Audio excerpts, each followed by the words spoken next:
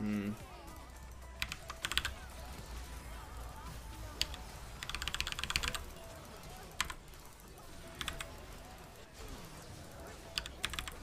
Oh, that sucks.